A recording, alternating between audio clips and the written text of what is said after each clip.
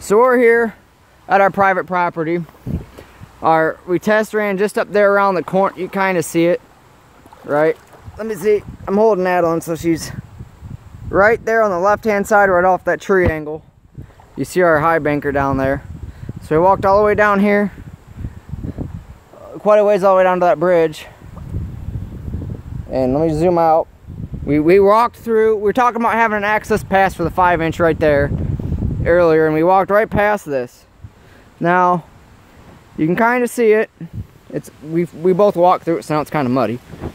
But there's bedrock right here. Right, you kind of see it, but there's bedrock right there.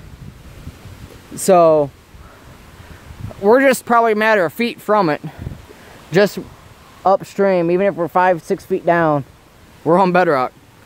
Our cleanout had maybe what around 50 specks of gold in it. Probably. So just a yard and a half, not bad. Pepper flakes, some fines. We found bedrock, guys. It's a matter of time now.